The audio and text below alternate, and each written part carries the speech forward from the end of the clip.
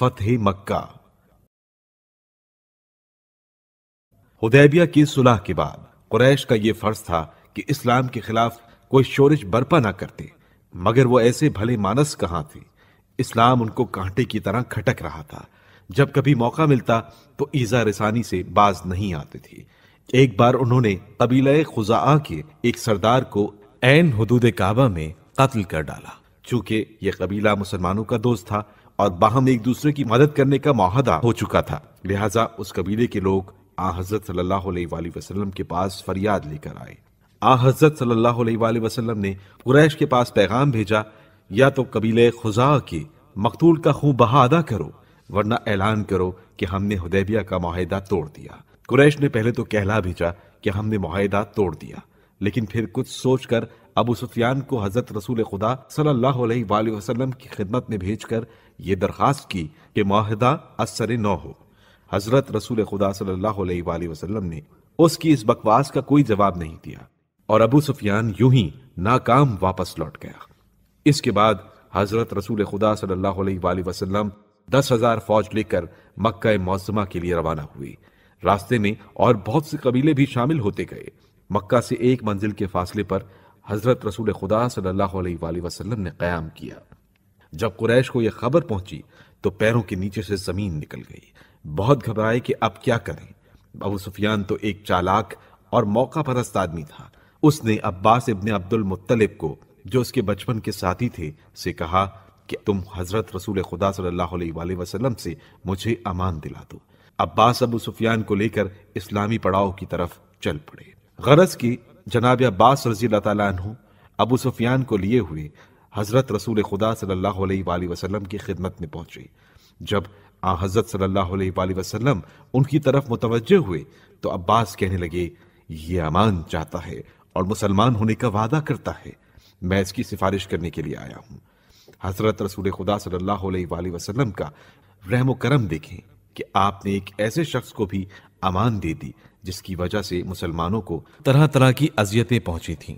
बहुत सी जानें जाया हुई थीं, बहुत सी जंगें लड़ना पड़ी थीं, और जिसकी बीवी हिंदा ने हज़रत हमजा का कलेजा चबाया था। हज़रत रसूल अकरम वसल्लम के रहम करम का ये हाल देखकर उसने ना चाहते हुए भी इस्लाम कबूल कर लिया।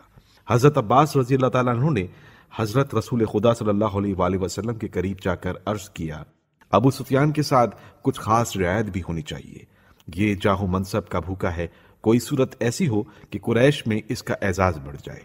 आ हज़रत सल्लल्लाहु ने फरमाया अच्छा जो कोई उसके घर में पनाह गुजी होगा, वो अमान में रहेगा। अबू सुफियान को शौकत इस्लाम दिखाने की गरज से आ हज़रत सल्लल्लाहु अलैहि वसल्लम ने हुक्म दिया कि उसे पहाड़ पर ले जाकर जरा खुदाई फौज का नज़ारा तो करा दो। अबू सुफियान निहायत मक्कार और चालाक आदमी था।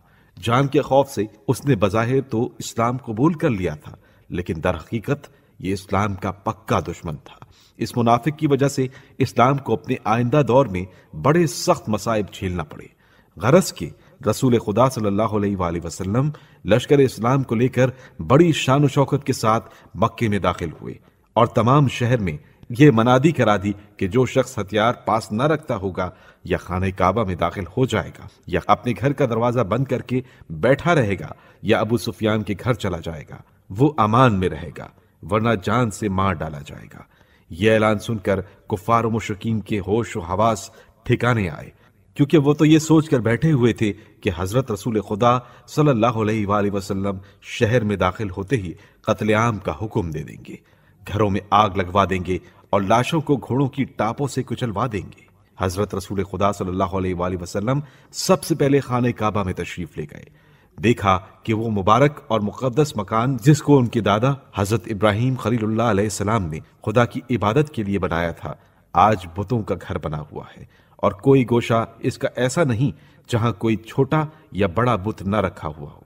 आप सल्लल्लाहु अलैहि वसल्लम ने हज़रत अली सलाम से फरमाया खाना खुदा को, इस नजासत से पाक कर दो। जहाँ तक हाथ की रसाई थी, आ हज़रत सल्लल्लाहु और हज़रत अली सलाम दोनों असा की नोक से बुतों को गिराते रहे। लेकिन जो बुत ज़्यादा बुलंदी पर नस्ब थे, उनको गिराने के लिए आ हज़रत सल्लल्लाहु अलैहि वसल्लम ने हज़रत अली सलाम को अपने कांधों पर सवार किया।